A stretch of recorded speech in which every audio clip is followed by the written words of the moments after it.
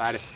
Guess by now most of y'all seen that YouTube video of the daddy shooting his daughter's laptop because of something she posted on Facebook. It's been seen by about 30 million people so far, and a lot of people think daddy did the right thing. Others think he stepped over the line.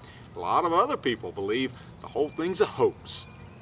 Hannah, you were grounded for about three months. Well, it isn't a hoax. The man's name is Tommy Jordan of Albemarle, North Carolina. Sitting in front of a home video camera, Jordan goes on to explain he looked at his daughter's Facebook page and found an angry post she tried to hide, blasting her parents and filled with profanity. You could just pay me for all that I do around the house. He put her laptop in the yard and then.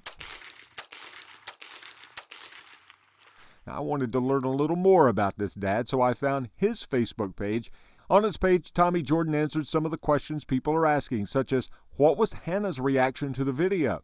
He said she was mad, but in the end she got over it pretty quickly. She was embarrassed that people heard her using foul language. He said Child Protective Services visited their home and left satisfied everyone in the house is healthy and happy and he encouraged every parent to make it a goal to know more about the technology their kids use and learn about ways to monitor their children on social media networks. He says it's a parent's job to protect and love their children, and on the idea that teenagers have a right to privacy online, Jordan says that's a joke.